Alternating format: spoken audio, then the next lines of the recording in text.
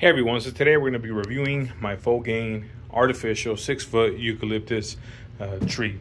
So this is a artificial tree like I mentioned and one of the cool things about this is it looks very realistic which is my favorite feature about this and which is why my wife purchased it.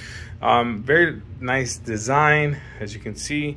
Um, this goes can go pretty much anywhere around your home in a corner, you know, in your living room. Uh, that's the cool thing about these the artificial tree, especially the eucalyptus. A very nice uh, piece of decor.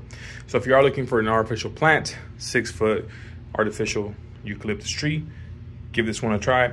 Highly, highly recommend it.